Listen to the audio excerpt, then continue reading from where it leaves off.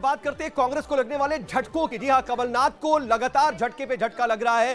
खासतौर पर छिंदवाड़ा में तो तमाम बड़े नेता ऐसे हैं जो बीजेपी का दामन थामन थाम चुके हैं। और एक बार फिर से देखिए, एक और बड़ा झटका लगा है कमलनाथ को। और दीपक सक्सेना के जो बेटे हैं, अजय सक्सेना, उन्होंने बीजेपी का दामन थाम लिया है।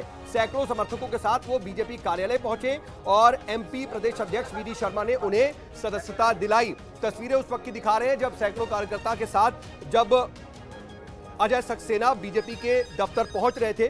उस वक्त ये तस्वीरें हैं। अच्छी खासी संख्या में कांग्रेस के तमाम कार्यकर्ताओं और समर्थकों को लेकर के दीपक सक्सेना बीजेपी दफ्तर गए और प्रदेश अध्यक्ष वीडी शर्मा ने उन्हें बीजेपी की सदस्यता दिलाई। आज सुबह दीपक सक्सेना ने भी कांग्रेस से इस्तीफा दिया था। तो दीपक सक्सेना ने बाकायदा लेटर लिखा था, कांग्रेस से इस्तीफा दिया था। उसके बाद उनके बेटे अजय सक्सेना बीजेपी दफ्तर पहुँचे और बीजेपी का दामन थाम लिया। कमलनाथ के सबसे करीबी नेताओं में से एक है दीपक सक्सेना। उन्हीं के बेटे अजय सक्सेना ने अब बीजेपी ज्वाइन कर ली है और दीपक सक्सेना ने आज बाकायदा लेटर लिख करके कांग्रेस से इस्तीफा दे दिया है।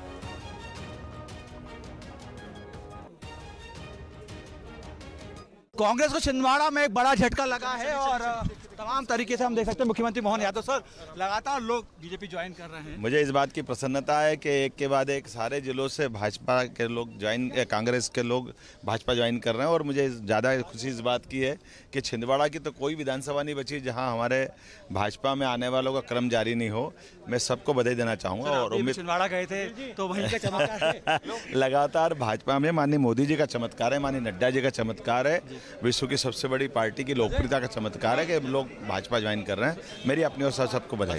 चार सौ अतुल भाई आपकी बात चार सौ बार फिर एक बार मोदी सरकार। तो अब की बार चार सौ पार के साथ मुख्यमंत्री मोहन यादव अस्वस्थ दिख रहे हैं और स्पष्ट तौर पर यही कहते हुए नज़र आ रहे हैं कि मोदी जी के चमत्कार के तहत तमाम जो कांग्रेस के कार्यकर्ता हैं वो मध्य प्रदेश में कांग्रेस का साथ छोड़ रहे हैं और मध्य प्रदेश में बीजेपी मज़बूत होती हुई दिखाई दे रही है और जिस तरीके से 400 पार के नारे के साथ बीजेपी काम कर रही है, वही नारा कम से कम मध्य प्रदेश में साकार होता हुआ दिखाई दे रहा है। विजय अबे के साथ तुषार न्यूज़ स्टेट मध्य प्रदेश, छत्तीसगढ़, भोपाल। तो देखिए, इस तरीके से कमलनाथ को झटके पे झटका लग रहा है और देखिए कमलनाथ के गढ़ छिंदवाड़ा में सिंह मारी की कोशिश लगातार बीजेपी कर रही है और कमलनाथ के करीबियों को कहीं ना कहीं अपने पाले में लाने की जो लगातार कवायद चल रही है, उसमें कामयाब भी होती हुई बीजेपी दिखाई दे रही है। तमाम बड़े नेता बीते दिनों में कमलनाथ का साथ छोड़ करके कांग्रेस का दामन छोड़ करके बीजेपी में शामिल हो चुके हैं। कमलनाथ के बेहद करीबियों में रहे तमाम नेता शामिल हो चुके हैं। और आपको बता दें कि बहुत सी ऐसी सिचुएशन जहाँ पर पूर्व विधायक भी थे, उसके अलावा तमाम कमलनाथ के दाएँ बाएँ नज़र आने वाले तमाम नेता बीजेपी में शामिल हो चुके हैं। उन्हीं में से दीपक सक्सेना का भी नाम शामिल था। उन्होंने आज न सिर्फ़ इस्तीफा दे दिया, बल्कि शाम होते होते उनके बेटे अजय सक्सेना बीजेपी दफ्तर में पहुँचे और वहाँ पर उनको प्रदेश अध्यक्ष वी डी शर्मा ने पार्टी की सदस्यता दिलाई।